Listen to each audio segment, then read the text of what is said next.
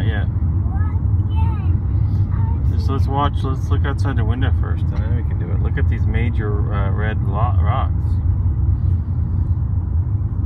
It's hard to tell them all because mommy's driving so fast.